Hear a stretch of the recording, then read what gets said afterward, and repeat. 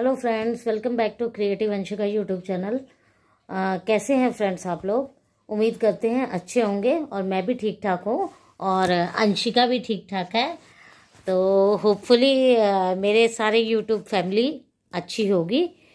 तो friends uh, मैं एक चीज़ से बहुत अपडेट करवाने वाली हूँ। मोस्ट मोस्टली लोगों को पता होगा बट मैंने अभी ना एक दो जैसे यूट्यूब चैनल देखे हैं। तो उसमें मैंने देखा है कि लोग गलतियाँ कौन सी करते हैं। जैसे जब हम पूजा पाठ करते हैं तो फ्रेंड्स जो कलश की स्थापना करते हैं तो कलश की स्थापना जब करते हैं तो उसके ऊपर जो नारियल रखते हैं, उसका जो डायरेक्शन है वो प्रॉपर होना चाहिए। तो मैंने एक दो फ्रेंड्स के अपने जो यूट्यूब फैमिली मेरी है, उनमें से जो एक दो मेरे सब्सक्राइबर हैं, उनकी मैंने देखी, जैसे कलश स्थापना नवरात्रि वगैरह की उन्होंने दिखाई थी। तो उसमें मैंने देखा कि उनकी जो उस पर नारियल जो रखा है ना, वो गलत डायरेक्शन में रखा है।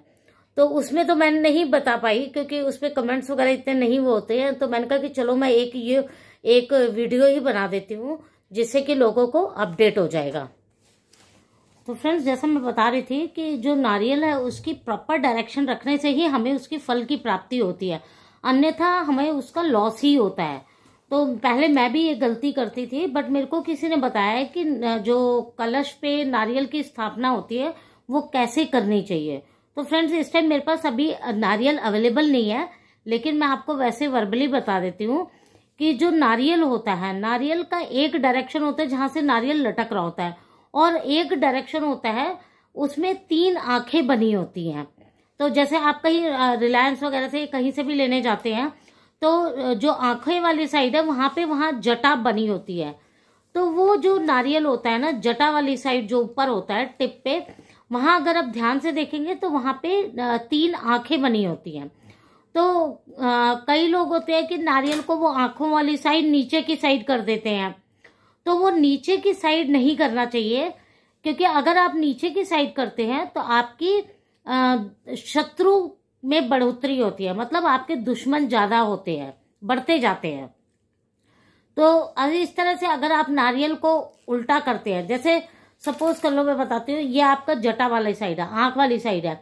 आपने कलश के ऊपर ऐसे रखा, ठीक है, आँख वाली साइड कलश के वैसे साइड रखा, पानी की साइड रखा तो आपके शत्रुओं का बढ़ोतरी होती है, ठीक है तो ये हमारा गलत है। दूसरा है कि कुछ लोग आँख वाली साइड ऊपर रखते हैं कलश के ऊपर जैसे ये कलश है नीचे इसके ऊपर इस ऐसे रखते हैं।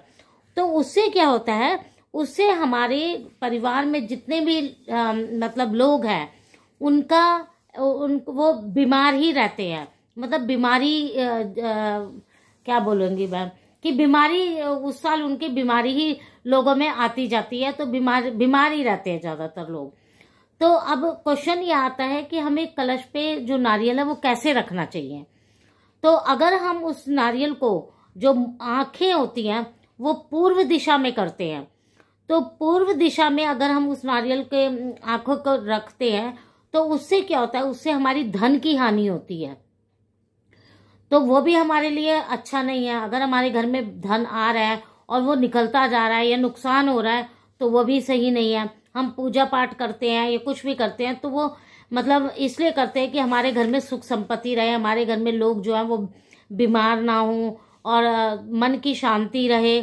तो ये सब चीज़ें अगर हमें पूजा मतलब नारियल के सिर्फ़ गलत डायरेक्शन में रखने से होती हैं तो ये तो सही नहीं है।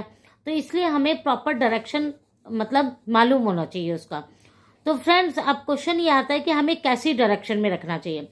तो अगर कभी भी आप कलश की स्थापना करते हैं तो उस पर जो नारियल है, उसमें ध्यान से देखिए कि जो तीन डायरेक्शन तीन आँखें जो बनी होती है, वो हमेशा जो आदमी पूजा कर रहा होता है, उसकी साइड होनी चाहिए। जैसे सपोज़ कर लो मैं बैठी हूँ तो ये मेरी आँख वाली साइड है तो ये आँख वाली साइड जो पूजा करने वाला व्यक्ति है, उसकी साइड होना चाहिए। उससे क्या होता है, उससे जो हमारे पूजा पाठ की जो जो फल होता है, वो उस इंसान को प्रॉपर मिलता है। उसमें कोई उसको नुकसान नहीं होता है।